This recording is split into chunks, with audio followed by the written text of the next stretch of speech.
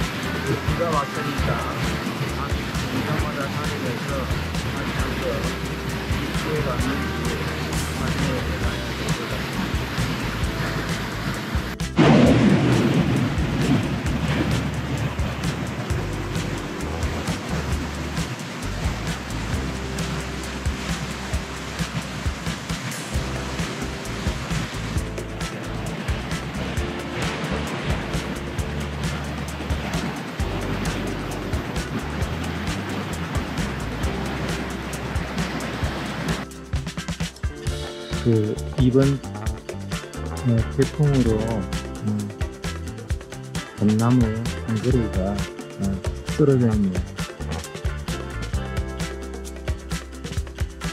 오늘은 이 벚나무 정리를 하고 어, 이 밑에 있는 풀들을 어, 깎도록 하겠습니다. 아, 오늘은 네트를 하면서 어, 효율적으로 할 수 있는 방법에 대해서 어, 안내를 드릴까 합니다. 지금은 처음 사용하는 기라 시동을 걸어놓고 적어도 한 5분 정도 이상을 어, 그 배로 시동을 걸어놓고 어, 예의를 지키고 있습니다. 그래서 반드시 그 예표를 할 때는 이 헬멧을 준비를 해야 되고 이 끈을 이 끈과 어, 칼날과 함께 사용하도록 하겠습니다. 그리고 지금 제가 지금 보여드리는 이 예쁘기를 보시면 굉장히 끈이 많습니다. 보통 예쁘기 하면 끈이 올려내는 끈 아니면 보통 이렇게 고무줄 바 하나 정도 달고 보통 예표를 하고 있습니다. 그런데 저는 그것보다 굉장히 많은, 거- 많은 끈을 달고 있습니다. 그럼 지금 기본적으로 조금 전에 말씀드렸던 이 고무끈 바 이것도 저 앞부분에 그 요촉이 배에다가 이것도 묶을 것이고 또한 이 끈은 어깨에다가 또 걸칠 것입니다. 그러면 또 하나 이것은 이것은 반대 어깨에다가 걸칠 것입니다. 그러면 이 어깨 매는 두 개의 끈과 이 두 개의 끈이 또 있겠습니다. 그런데도 또 궁금한 것이 이 끈이 두 개가 또 매달려 있습니다. 끼어져 있는 끈이 있습니다. 이 끈은 어떤 용도로 사용하는가 하면 아, 지금 우리가 예초기가 어, 허리에 딱 붙어야 된다고 하면서 판매되고 있는 상품 그 상품의 대용입니다. 그리고 이 끈을 다시 한번 보여드리겠습니다.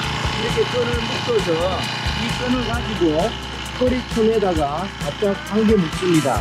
그러면 이 끈이 우리 예초기가 허리에 바짝 붙어 있기 때문에 에, 작업을 할 때 훨씬 더 효율적이라고 하겠습니다. 또한 지금 보시는 이 앞치마가 있습니다. 이 앞치마를 앞에다가 메고 그 다음에 작업을 하게 되겠습니다. 제가 조금 있다가 다시 한번 이 완전히 착용한 모습을 보여드리도록 하겠습니다. 또한 마찬가지로 그 다리에는 이렇게 보호대를 쳤습니다. 긴 장화를 신고 보호대를 하고 있습니다. 배터리 뻔한 그 부속이 있습니다. 앞부분에 유심히 보시게 되면 날 위에 붙어 있는 이 날입니다. 이것은 어, 풀이 많은 곳에 끼지 않게끔 되는 것입니다. 그래서 이것도 부착해서 사용하시면 굉장히 좋습니다. 지금 착용하는 모습을 보여드리도록 하겠습니다. 지금 두께에다가 이것을 하나를 이렇게 내고 여기다가 이렇게 겁니다 하나를. 그러면 이게 예쁘기가 제가 아니라 자기 힘에 의해서 그냥 쓸수 있습니다. 또한 한 가지가 포인트하면 이것이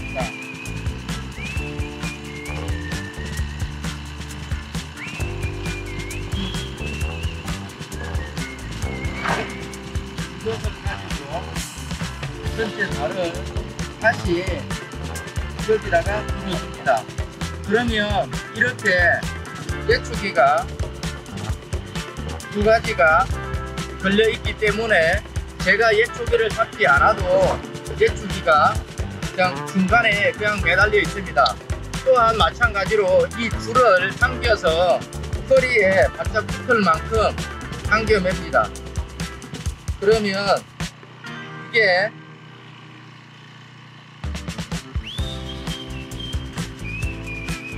지지가 되기 때문에 훨씬 더 수월하게 작업을 할 수가 있겠습니다. 이렇게.